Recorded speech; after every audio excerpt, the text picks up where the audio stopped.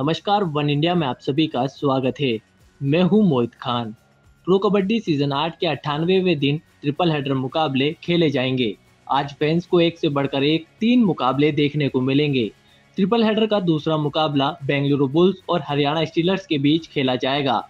ये मुकाबला रात साढ़े आठ बजे से शुरू होगा।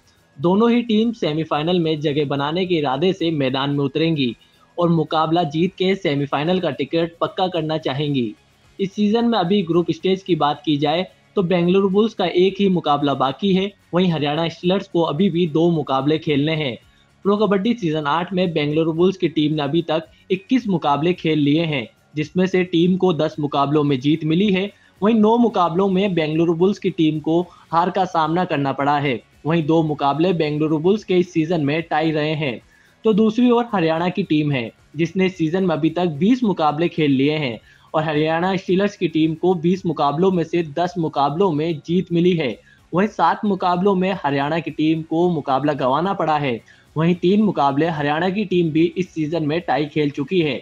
ऐसे में सेमीफाइनल की उम्मीद दोनों टीमों के लिए बरकरार है, लेकिन आज की हार एक टीम का सफ़र कहीं ना कहीं खत्म कर देगी। दोनों टीमों के हेड टू हेड आंकड़ों की बात की जाए तो दोनों टीमों के बीच प्रो कबड्डी इतिहास में अभी तक पाँच बार आमना सामना हुआ है। जिसमें से तीन मुकाबलों में बेंगलुरु बुल्स की टीम की जीत हुई है। वहीं दो मुकाबलों में हरियाणा की टीम ने बेंगलुरु बुल्स की टीम को हराया है।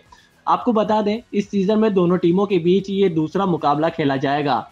इससे पहले खेले गए मुकाबले में हरियाणा को एक तरफा हार का सामना करना पड़ा था और उस मुकाबले में बेंगलुरु बुल्स की टीम ने 14 पॉइंटों के अंतर से मुकाबला अपने नाम किया था। ऐसे में बेंगलुरु बुल्स का ये ग्रुप स्टेज का आखिरी मुकाबला है और टीम इस खेल को दोहराना चाहेगी ताकि सेमीफाइनल की जो उम्मीद है, वो बरकरार रहे।